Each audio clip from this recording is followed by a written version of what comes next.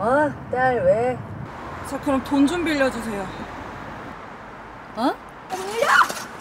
야, 문 열어, 문 열어. 야! 이따 가서 드릴게요.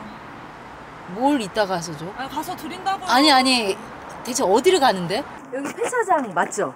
아이고, 아줌마 뭐 그런 거 물어요. 돈 줄 테니까 들어가 있어요. 아, 그건 당연히 주는 거고. 아, 근데 여기 폐차를 어디서 해요? 민증 달라디? 어떡해요.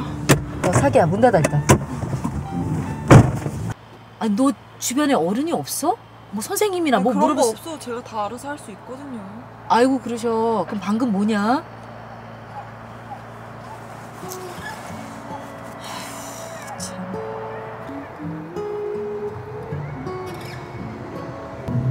아무리 불러놓고서 나왜 기억이 안 나지?